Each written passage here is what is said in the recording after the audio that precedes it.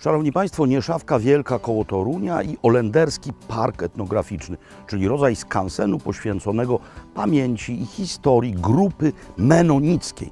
Kim byli menonici, a przede wszystkim jak mieszkali, to się za chwilę wyjaśni.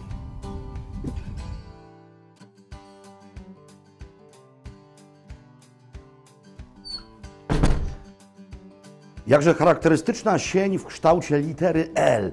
Tuż przy niej czarna kuchnia. Czarna, e, ponieważ komin e, to po prostu dziura w dachu. Komin butelkowy. Tak to wówczas e, nazywano i tak to się nazywa dzisiaj, czyli szeroki na dole, zwężający się ku górze. Tak naprawdę kuchnia jest fragmentem tego szkomina. Co dalej? Dalej izba codzienna, czyli ta, w której toczyło się codzienne właśnie życie. E, Tutaj jedzono, tutaj rozmawiano przy stole, tutaj się w ciągu dnia gromadzono. Zaraz obok miejsce, które otwierano tylko z powodu szczególnych okazji, było zawsze wypucowane, przystrojone e, i tutaj e, obchodzono różne uroczyste momenty. Tutaj mamy już kredens, w nim porcelanę, zegar, na ścianach makatki, piec. Gdzie spano? Spano na górze. Tam są sypialnie, ale przecież nie będziemy się pakować nikomu z kamerą do sypialni. Do kuchni natomiast z kamerą można, a nawet trzeba zaglądać. To będzie potrawa y, o jakże dumnej i tajemniczej nazwie gęsie pipki. Muszę zapytać, czy w ogóle na Galicji wiadomo, co to są gęsie pipki? Ba, no, przed, przede wszystkim tam, gdyż to jest potrawa e, żydowska, potrawa e, aszkenazyjska, e, potrawa galicyjskich Żydów e, i potrawa, która idealnie wpisuje się w hasło kujawsko-pomorska gęsina na świętego Marcina, gdyż e, jej najważniejszym składnikiem, czyli rzeczonym pipkiem, jest gęsi żołądek. I już wszystko wiemy. Za to u nas dużo bardziej popularna jest, e, jest półgęsek. Na Kociewiu szczególnie, także to chyba jest e, miejsce, gdzie półgęsek naprawdę smakuje najlepiej. Tam panie gospodynie przygotowują bardzo długo tę potrawę. Jest to wspaniałe mięso, kilka czasami tygodni w zimnym dymie. Załatwisz jakiś kociewski półgęsek w takim Nie razie? ma sprawy, ale po 11 listopada, jak już No, gęś oczywiście, że.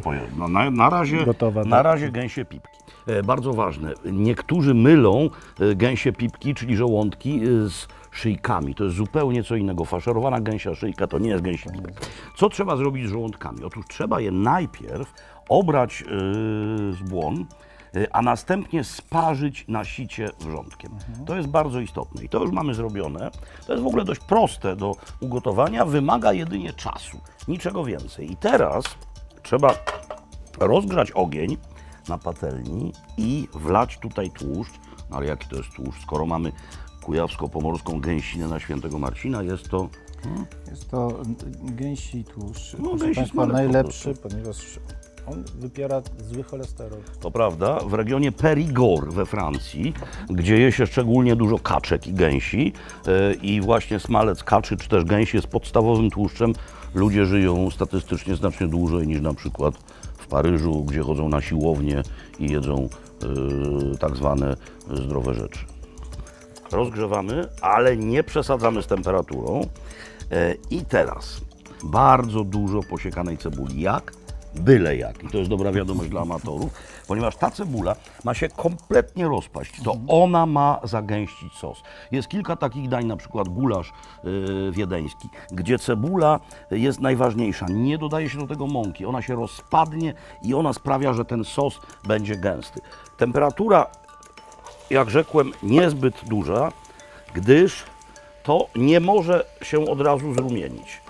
E, No i ponieważ jest to potrawa kuchni aszkenazyjskiej, żydowskiej, więc zgodnie e, ze stereo- stereotypami, w tym wypadku życie jest zgodne ze stereotypem, trzeba do tego dodać Oczywiście. dużo czosnku, byle e, jak posiekanego, albo w ogóle też nie posiekanego, gdyż to się również rozpadnie. Zaczynam rozumieć, dlaczego Toruń jest nazywany Małym Krakowem.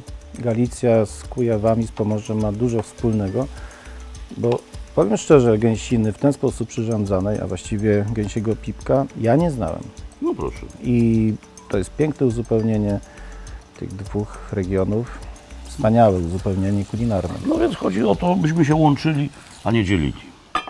Fundamentalna przyprawa, tak naprawdę poza solą, jedyna. To jest mianowicie mieszanka kary. Proszek kary, który jak wiadomo jest y, y, wielowątkowy, wieloskładnikowy, gałka muszkatołowa, imbir, kurkuma, e, liście kary, e, co tam jeszcze. E, To nieprawda, że to się pojawiło u nas w naszej kuchni teraz. E, To było już y, z dawien dawna, jak przeczytamy Ćwierczakiewiczową, Lucynę zresztą, XIX-wieczną książkę kucharską, to tam są takie rzeczy jak kary, parmezan, oliwki i tak dalej, i tak dalej. Nie wiem, czy dobrze kojarzę, ale niektóre składniki kary to przecież przyprawy do pierników. No oczywiście, oczywiście, z wyjątkiem tych y, y, bardzo pikantnych, Pikantnych, tak, gałka paprykowych. muszkatołowa, goździki, pieprz i tak dalej. To są Imbir. piernikowe rzeczy. Imbir, tak. Teraz trochę soli, ale trochę. Ważne jest, by proszek kary, y, a wybór jego na rynku jest dość spory, był bez soli, bo jeśli on jest solą, to już nie solimy. Trzeba go po prostu próbować. No i co teraz? Teraz te wcześniej przygotowane pipki, czyli żołądki. I to jest w zasadzie finito la comedia. Trzeba teraz to tylko podlać wodą i dusić. E, Kiedyś e, robiono to e, z okazji różnych żydowskich świąt i wtedy wkładano to e, do takich ciężkich, żeliwnych garnków i zanoszono do szabaśników. Tak się e, u nas w Galicji nazywają dawne piekarniki w piecach opalanych węglem, albo zanoszono do piekarń, e, żeby tam to doszło Było to noc. 6 lat temu, przepraszam, że Ci przerwę, pojechaliśmy do Jerozolimy z naszą gęsiną, kujawsko-pomorską gęsiną. Rewelacja. Cieszyła się ogromnym powodzeniem. E, mieszkańcy Izraela, Żydzi, którzy przychodzili do naszych stoisk, płakali, wspominając Polskę. No tak, dlatego Właśnie że gęsina to był ten smak. E, Zdaje się, jedynym miejscem, gdzie jeszcze z tą gęsiną nie dotarliście, jest Grenlandia, ale to wszystko przed wami. Po trzech godzinach to radykalnie zmienia swoją konsystencję, odkryj z łaski swojej i sprawdź, czy nie brakuje soli, czy nie brakuje pieprzu. Pachnie wyśmienicie. Roz... o, Piernikowo, toruńsko pachnie. Bardzo blisko. Wezmę pokrywkę. E, Rozpadło, e, rozpadło się e, to, co było tam dodane z wyjątkiem żołądków, czyli cebula i czosnek utworzyły jednorodny sos. Ja bym nie dodawał. No, no i to jest komplement. No to ja Myślę, na sam koniec przygotuję pietruszkę, bo jej trochę dodamy.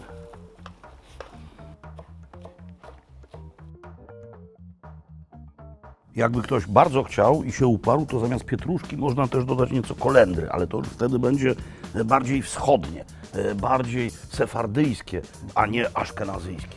A tak generalnie do tego e, kawałek chałki albo tego wytrawnego piernika. No i mamy dwa w jednym. A węgierskie czerwone wino? Węgierskie czerwone wino, to mamy już trzy w jednym, bo poza Galicją i Kujawsko-Pomorskim mamy jeszcze Madziarów. By wszyscy widzieli, że nie kłamiemy. Mięciutkie, marcepanowe, Cudowne. gęsie pipki, jak się patrzy. Dziękuję serdecznie To za ja dziękuję. zaproszenie. Odkryłem nowy smak. Wydawało się, że już wszystko wiemy u nas o gęsinie. Proszę Państwa, w tym roku świętego Marcina, 11 listopada, to setna rocznica odzyskania niepodległości. Świętujmy przy gęsinie, w rodzinach, przy jednym stole.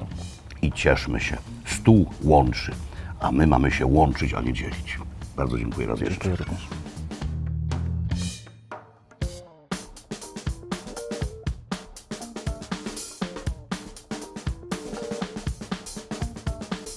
To jedyne tego typu miejsce w kraju całym, jedyne miejsce w Polsce poświęcone pamięci i historii Menonitów. Zatem przybywajcie w Kujawsko-Pomorskie nie tylko na gęsinę, ale również by dotknąć historii tej ziemi.